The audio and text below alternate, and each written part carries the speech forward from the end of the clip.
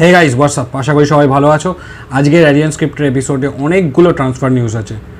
Believe me অনেকগুলো transfer news তবে তার আগে শুরুতেই আমরা আনাস আনাস ভারতীয় টিমে ব্যাক করেছে।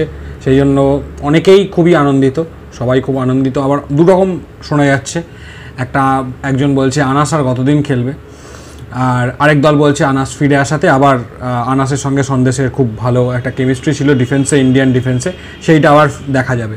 তো আমার মত যেটা স্টিম্যাক কিন্তু যত রকম পসিবল প্লেয়ার্স রয়েছে প্লেয়ার কম্বিনেশন রয়েছে ইন্ডিয়ার সে আগে যারা খেলে গেছে, আগে যারা বঞ্চিত ছিল, এখন যারা খেলছে কোনো রকম ক্লাব ফুটবল থেকে যেন যে এই টুর্নামেন্ট থেকে আসছে বলে বঞ্চিত না হয়, এই ধরনের একটা মানে ম্যাক্সিমাম ইউটিলাইজেশন যতগুলো প্লেয়ার ইন্ডিয়া খেলার যোগ্য, সবাইকে কিন্তু আমার মনে হয় স্টিম্যাক দেখে নিতে চাইছে। সেই জন্য মন্দার ব্যাক করেছে জবি জাস্টিন তো আবার সুযোগ পাবে।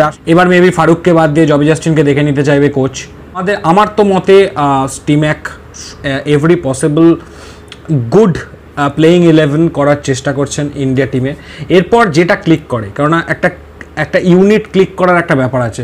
মেবি তার জন্য তার থেকে হয়তো ইন্ডিয়ান টিমের বেস্ট বা এগারো জনই খেলবে, তার কোনো মানে নেই। কিন্তু ইউনিট হিসাবে ক্লিক করে এই ধরনের প্লেয়ারদের নিয়ে তিনি একটা ইউনিট তৈরি করতে চাইছেন যেটা কিন্তু লং রান খেলবে, এরকম একটা আমার মনে হচ্ছে। কিন্তু আমার মনে হলে কি হবে? আমাদের ময়দানের সুব্রত ভট্টাচার্য তার কিন্তু ব্যাপারটা মোটেই পছন্দ হয়নি।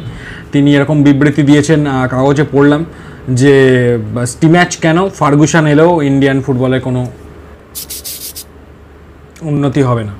তো তার এই বক্তব্য নিয়ে তার জামাইয়ের কি মতামত সেটা জানার জন্য খুবই আগ্রহী হয়ে রইলাম। আর তোমাদের কি মতামত? তোমরা কমেন্টে জানাও।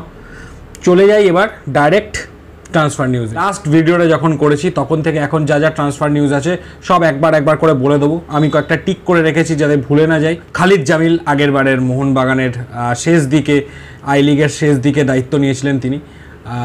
খুব একটা ভালো পারফরমেন্স না হলেও তিনি এবার কিন্তু আই লিগ থেকে আইএসএলে যাচ্ছেন। সবাই জানো নর্থ ইস্ট ইউনাইটেড তার অ্যাসিস্ট্যান্ট কোচ হিসাবে নিযুক্ত হচ্ছেন। খালিদ জামিল। এই প্রসঙ্গে আরও একটা কথা বলে দিই এবার ঠিক করেছে আইএসএলে কিন্তু অ্যাসিস্ট্যান্ট কোচ সব ভারতীয় রাখা হবে যেটা এতদিন পর্যন্ত কোনো ভারতীয় কোচ বা অ্যাসিস্ট্যান্ট কোচ রাখা যেত না। তো এবার থেকে ঠিক করা হয়েছে যে একজন করে অ্যাসিস্ট্যান্ট কোচ ভারতীয়ই নিযুক্ত করতে হবে আইএসএলে এটা খুব ভালো পদক্ষেপ। তো খালিদ জামিল দেখা যাক নিশ্চয়ই তার মতামত কিছুটা গুরুত্ব পাবে কারণ তিনি কিন্তু মোহনবাগান ইস্টবেঙ্গলে সফল না হলেও তিনি কিন্তু আইজলে বা মুম্বাইতে কিন্তু তিনি যথেষ্ট সফল কোচ ছিলেন। আর লাইসেন্স করা কোচ সুতরাং ভরসা রাখতেই হবে। দেখা যাক তিনি কতটা ভালো কাজ করেন নর্থ ইস্টের পক্ষে।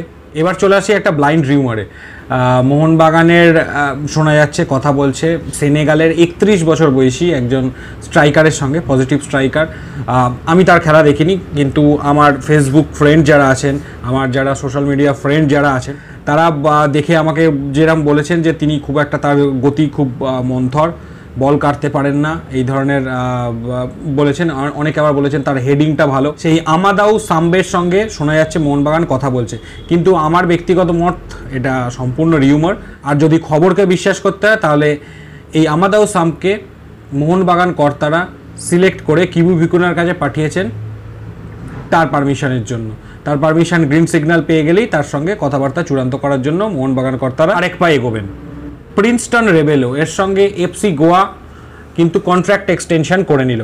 দু হাজার বাইশ সাল অবধি কন্ট্রাক্ট এক্সটেনশন করে নিল এফসি গোয়া, তার মানে তিন বছর।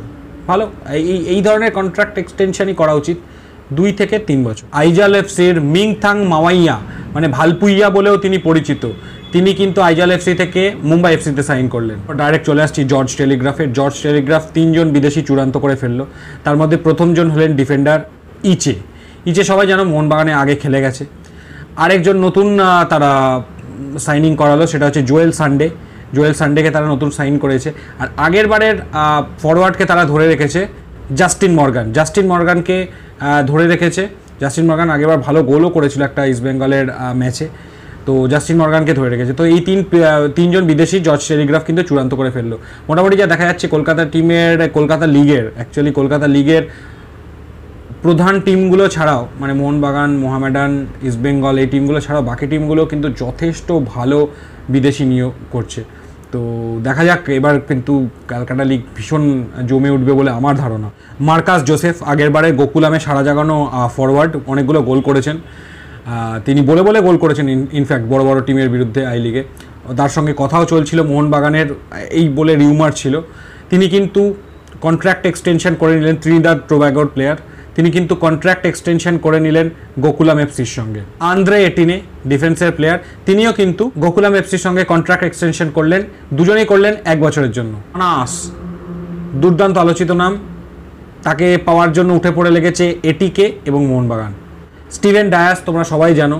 স্টিভেন ডায়াস অ্যাসিস্ট্যান্ট কোচ নিযুক্ত হলেন ইউ মুম্বা এফসি, যেটা তোমরা জানো যে এবারে কর্পোরেট কোটায় আই লিগে ঢুকতে চাইছে এই দলটা। রনি স্ক্রুওয়ালা বলিউডের পরিচালক, প্রযোজক তার তার তার দল আর কি। রনি স্ক্রুওয়ালা সম্পর্কে অনেক ভিডিও আগেই আমি বলেছি তোমাদের যে বলিউডের প্লেয়ারদের নিয়ে প্লেয়ারদের না, বলিউডের স্টারদের নিয়ে ফুটবল অর্গানাইজেশন করতো আর কি অর্গানাইজ করতো।